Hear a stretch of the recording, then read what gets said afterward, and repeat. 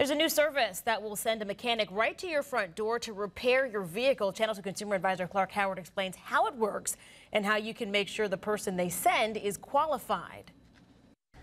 When your car breaks down, you may or may not have a trusted place you like to take your car to have work done. What if you just don't know where to go?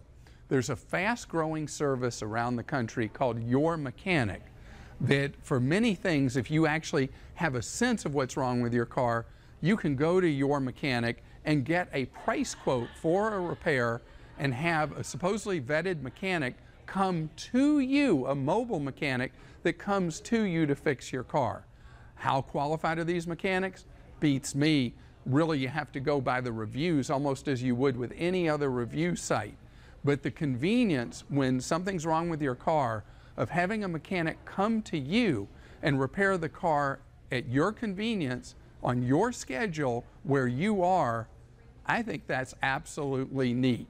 I'm Clark Howard.